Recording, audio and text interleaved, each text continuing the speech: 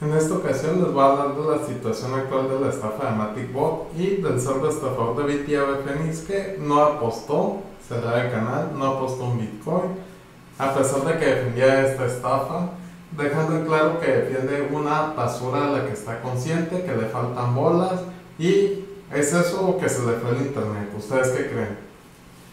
Así que vean la clase de cerdo estafador, vean las basuras que ha promocionado y en un futuro que va a estar ofreciendo otra basura por la cual no va a ser capaz de apostar porque es una estafadora del montón que me han dicho que ni siquiera para eso sirve que sus que sus presentaciones dan risa o incluso vergüenza ajena o pena ajena como lo pudieran conocer. Sigue alentando a la gente a entrar. A pesar de los comentarios que me han puesto cabe mencionar que de estos dos que tengo el primero pues sí fue totalmente en español pero el segundo me lo dejó una persona de Brasil, muy seguramente, y en portugués me lo dejó tal cual y usé un traductor para leer lo que dice. Es una situación lamentable, yo advertí desde hace tiempo. Este cerdo estafador pues ya lo dejé bien callado. Así que queda exhibido como el cerdo estafador que es, la basura que es, la rata. Y bueno, pues es lo que dice.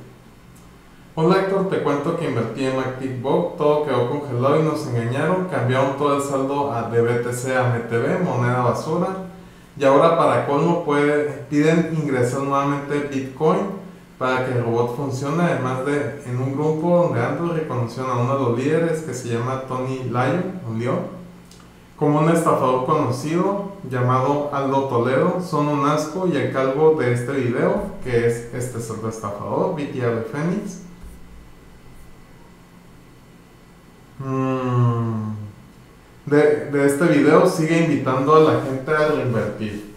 O sea, ¿cómo la ven? A fin de cuentas, a él no le importa que sea estafa, nomás le importa la comisión de referido. Es capaz de vender a su mamá por una pequeña comisión de referido. Así que si quieren pasar una noche, si es que tienen, ya saben cómo hacerlo. Denle su pequeña comisión de referido.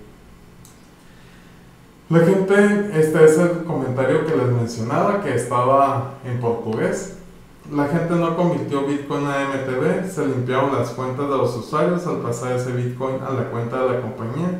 Es decir, se dio el golpe quitando el Bitcoin y colocando una moneda que no encubra una bala. Si la moneda MTB no existe, no hay forma de convertir algo que no existe.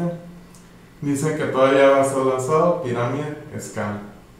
Así que esta es una técnica que usan frecuentemente las estafas para quitarse el problema, porque les dan pues una moneda que no sirve para nada, que no tiene oferta ni demanda real. Ellos no les cuesta nada hacerla y pues las pueden vender por prácticamente nada. Entonces, así se quitan el problema ellos, ¿sabes qué? Te estoy dando mi moneda, te la cotizo en tantos dólares, allá tú ves cómo la vendes, el precio que la puedes vender Obviamente nadie la va a querer, todos se van a querer deshacer de ella y las van a abaratar.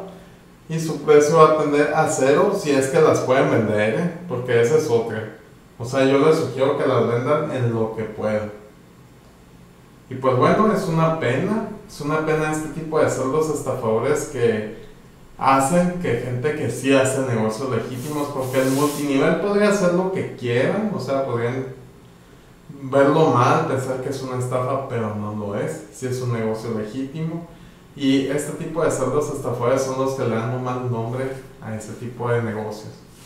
Así que, pues una pena que sigan, que sigan con esta estafa. Qué bueno que se quede este video grabado como evidencia y que eventualmente, pues, verán que no van a estar estos videos en su canal y pues ya veo que no tiene forma de sostener sus palabras, o sea, dejó bien en claro que no cree en esta basura. Y bueno, pues básicamente eso sería todo, no me queda más que agradecerles por sus comentarios, suscripciones, deditos arriba y sobre todo por compartir. Como siempre les pregunto, ¿qué van a hacer hoy por mejorar su futuro?